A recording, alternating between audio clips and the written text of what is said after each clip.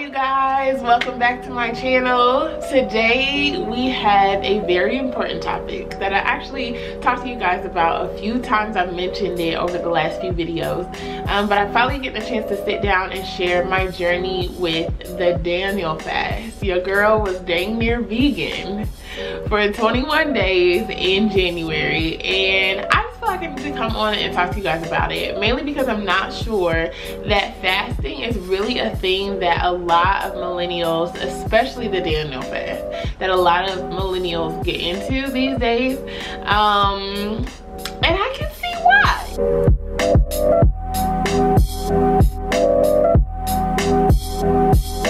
I think I really underestimated the Daniel fast or just fasting in general before I did the Daniel fast in January and God pretty much just blew my whole mind. And I really feel like it has set me up for a super crazy amazing 2020 like the first month really this whole time so far in 2020 but the first month of 2020 was ridiculous i mean i just felt like i was sitting on god's kneecaps like i just felt so close and felt like i could hear him so clearly um, but that came through an interesting journey with the Daniel fast. So if this is your first time and you've never seen a video of mine, welcome. I'm sorry, I completely forgot that part. My name is Gabrielle. I also go by Gaby and here on the channel we are Miss GCH and I'm super pumped that you decided to join me today and that you have some interest in the topic of fasting or maybe you just clicked on this for another reason. I don't know. But regardless of the reason you're here, welcome. Um, I really hope you get something out of my journey and what I share with you all today. So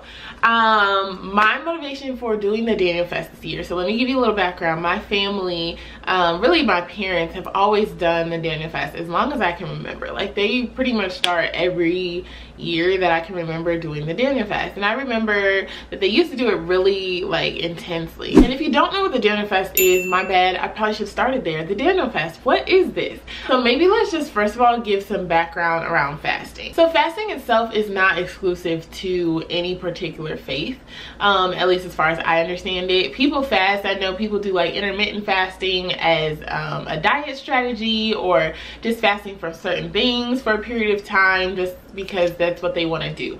Um, and a lot of times from that perspective it's around health or dieting or something like that. But fasting in the context of faith particularly the faith that I can speak on which is uh, Christianity um, it has its roots in scripture. And it's rooted in the story uh, in the book of Daniel in the Bible that talked about a period of time where he was tested for three weeks. So in that passage it talks about he essentially ate no pleasant food um, you know things that make us happy. The food that makes us happy um and no wine no anything like that. And essentially at the end of that period of time daniel talks about just having a greater spiritual life mental life um just being more physically fit just being in a better state after that period of time.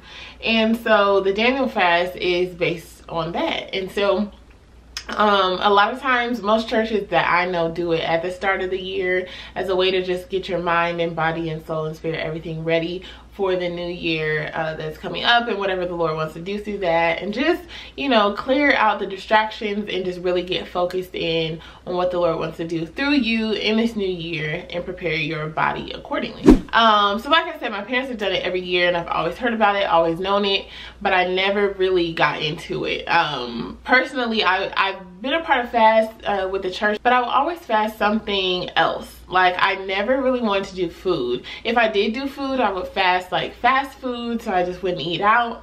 Um, but I wasn't like being super specific about eating, you know, plant-based diet or something like that. You know it just was like oh, i'll just leave fast food alone for three weeks. And honestly sometimes i failed on that alone. So um and then i social media is another one that i've done commonly. And not always just during the 21 day period. There are times where i'll fast social media because i just feel like the spirit is leading me to do that. But yeah i'll always do something else. And i was never really down when i heard about the whole let's just eat plants and fruit and water for 21 days. I'm just like what? Like, wow.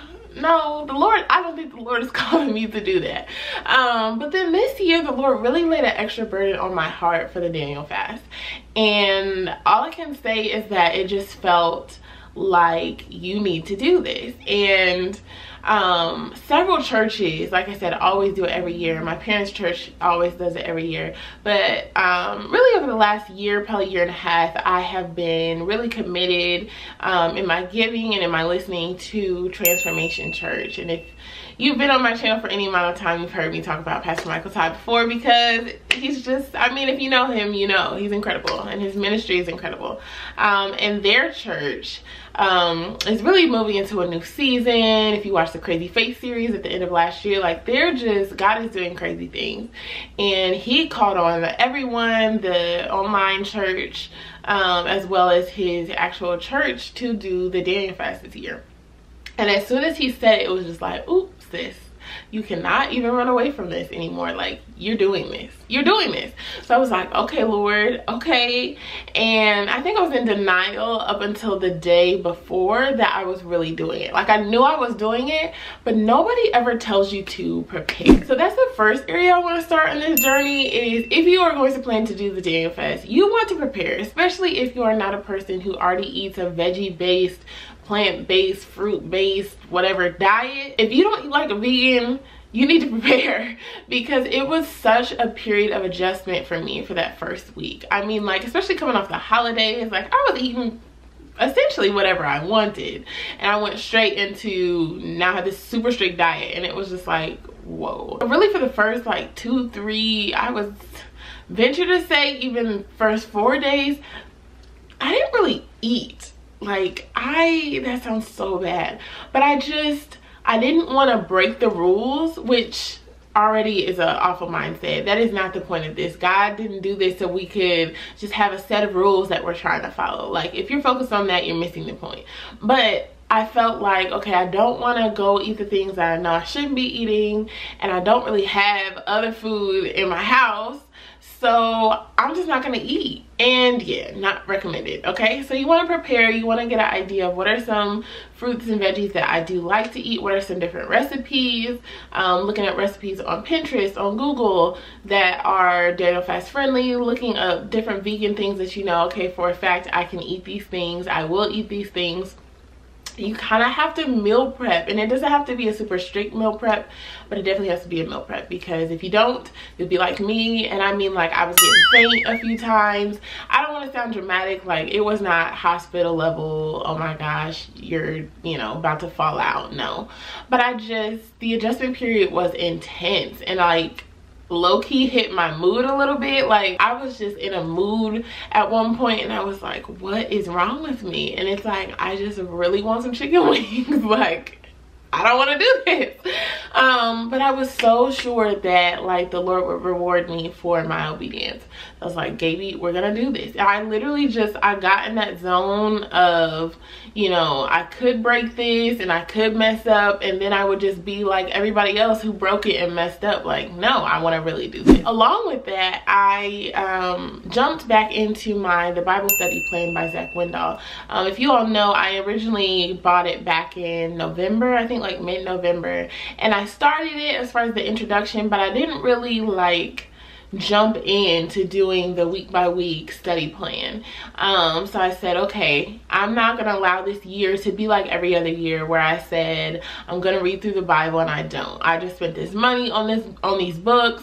Um, I spent this time, you know, doing videos and reviews for you guys and really letting people know that this was a desire of my heart that I felt like the Lord was leading me to do. So I was like, okay, Gibby, we're gonna do it. So um, every morning um, I woke up at 6:30, and actually in all honesty the first few days it was too hard for me to wake up at that hour because I got used to not being up at that hour um, and so I called in uh, recruitment uh, and I talked to my dad and he gets up around 6 a.m. every day and I knew okay if he calls me he'll get me up and going and I'll go read my Bible because otherwise it would just be too easy for me to say oh i'm gonna sleep in i'll do it at some point during the day or before i go to bed and it just would never happen. So having him call me in the mornings was so essential and i would be at my desk like okay lord reveal whatever it is you want me to hear see whatever while i'm reading your word while i'm doing this bible study. Help me to see whatever you're trying to get me to see for this 2020 like really draw me in and make this exciting. You know like the word already has so much life in it. So Lord, just reveal it to me. And he did. He delivered tenfold and then some you guys and i'm like cheesing because i've already shared this i think a little bit in the bible study video the honest review that i just did if you haven't seen it go check it out but um I've been reading the Bible like a true story and understanding context and characters and a lot of the phrases and things from my childhood that I always know from church but never really knew the context. Like it just, his word became so alive to me. And starting my day like that, y'all, shifted everything else about my day.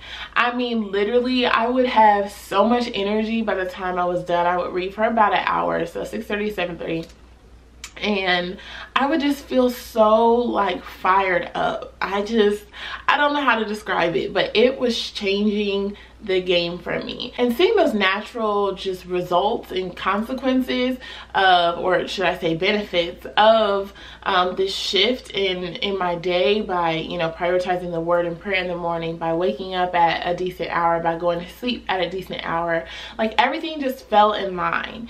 And it was blowing my mind because I'm like, all of these things that I've wanted for so long and I've written goal sheets for and I've said this is who I want to be and this is what I want to do and making schedules and lists and all of these things that were so hard for me to do. Like I would set out with good intentions and just fall off. Like now are all falling into place with some you know minor changes here and there but minor changes that were actually kind of monumental for me were just changing everything. The main things i think about when people are asking like well why are you fasting? Like what do you what's the purpose of this and what are you getting out of this? And i told everyone that the reason the lord really called me to do that this time was to show me the importance and the value of discipline. Um, i think discipline is so underrated so underrated. Discipline and consistency. But i feel like without discipline you can't have you'll never achieve consistency. Although the two go together it's hard to be consistent without the discipline to be consistent.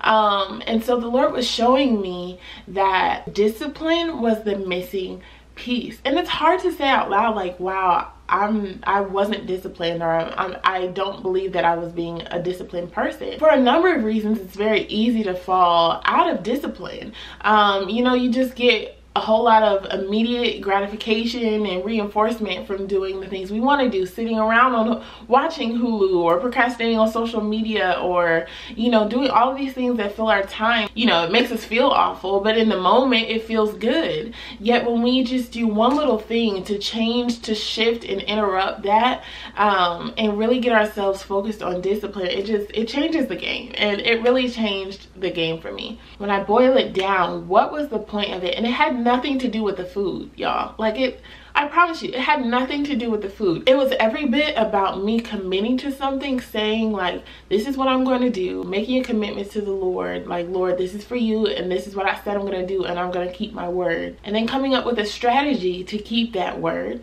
So being disciplined, waking up at a certain hour, sticking to somewhat of a schedule, being flexible when needed, but definitely sticking to a schedule. And then just watching the favor of the Lord pour out, y'all. Like that 21 days, I had so few distractions. And that's not to say that the enemy didn't come at me and really try to trip me up. Like he was like, oh, you want to be all super down for the Lord and like really about your business and you know submitting to God and really tapping into this area that he really wants you to tap in. So your potential can just go crazy. Like you really think I'm gonna just sit here and let you do that? And so there were periods of time where I just felt like the enemy was just in my ear just in my ear. But but i had a strength um and even at times where i felt like i failed whatever test was coming at me the recovery period was so much different because I was in my word because I was in prayer because like there were so few distractions. Like I put a limit um, as well on my um, social media apps on my phone during that period of time. So I don't know if you all know this but like the screen time option on um, Apple devices and you can limit yourself to a certain amount of hours on certain apps and then they'll like shut down and you have to like put in a code to get back in and so I limited myself to two hours a day on social media. But I didn't even feel like I had to. Like there were days where I wouldn't even use up the two hours because it was like my commitment to Christ and my my view of the fast and just where I wanted to be was so primary and everything else fell in line. Like everything else was just not as important. Like I don't know. Me and Jesus were just like this um, and also with that being 21 days i don't know if you all know this but um, they say that it takes 21 days to build a habit and so what i've noticed is even though i haven't been as perfectly on top of things as I was during that 21 days. What I will say is it set a precedent in my life. And so every week, like like I shared in the Bible study video, each new week you're reading the next book of the Bible and I've been consistent on that even well after the fast. I finished the first five books of the Old Testament. I'm actually in Joshua now, about to finish Joshua, um, which is just crazy for me to say out loud, y'all, that I'm like I just, I'm in this routine, like my body wakes up around 6.30 um, every day already, even if my alarm isn't set.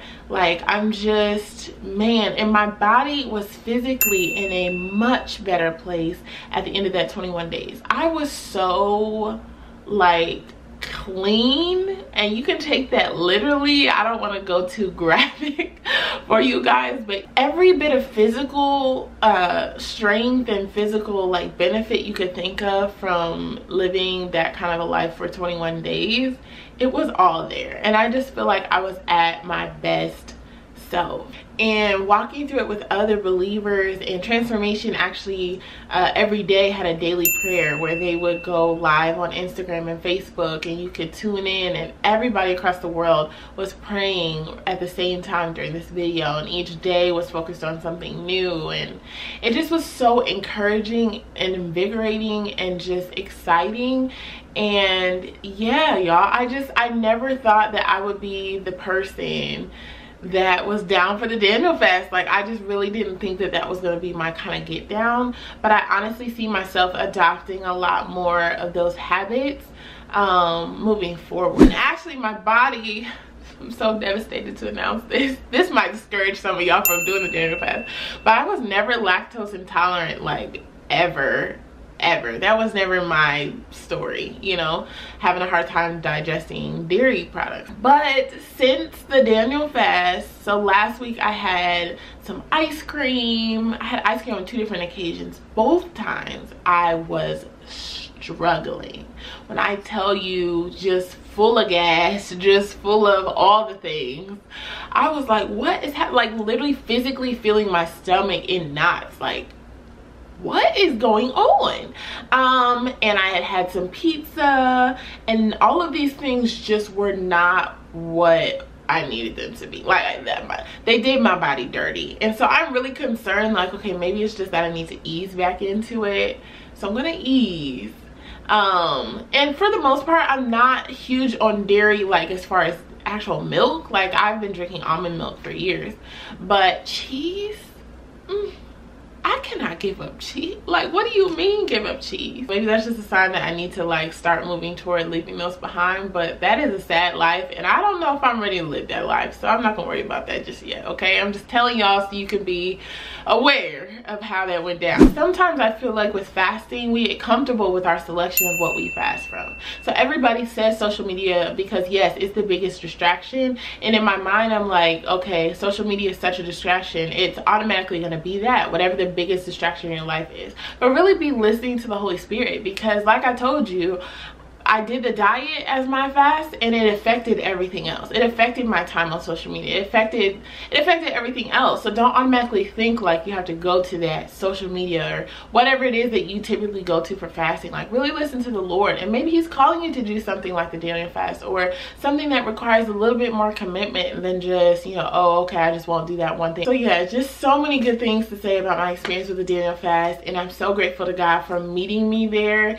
in that journey and um, walking that out with me. And so I just want to say like a, a huge thank you to Transformation Church and Pastor Michael Todd because it really did just blow my mind this year being a part of the Daniel fast and I definitely will do it again in the future for sure. So yeah, your girl essentially went vegan and she survived. Look at that. I'm still here, alive and kicking.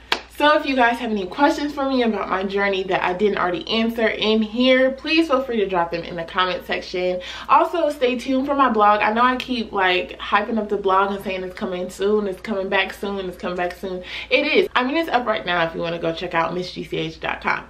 But my new content isn't on there. Um but i promise i'm working on it. I'm thinking about doing like a what i ate uh blog on there so you guys can get a sense of what i ate. Like i said i wasn't perfect. I wasn't a perfect vegan.